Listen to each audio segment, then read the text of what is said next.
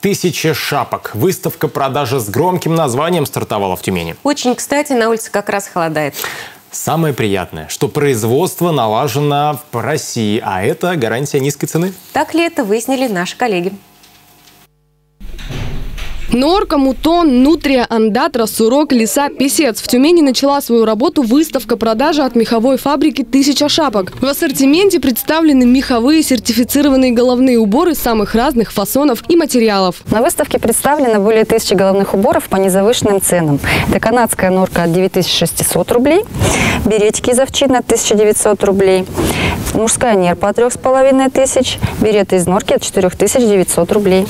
Фабрика-производитель находится в Новосибирске. Именно там шапка проходит весь этап создания. От эскиза и отбора сырья до пошива. Используя современное оборудование, опытные мастера создают по-настоящему качественные изделия. А благодаря дизайнерам фабрики каждая модель получается уникальной и красивой. Это отмечают и покупатели. Очень понравилась эта шапочка. Прям чудесная. Хочется ярких красок зимой такая необычная, шикарная.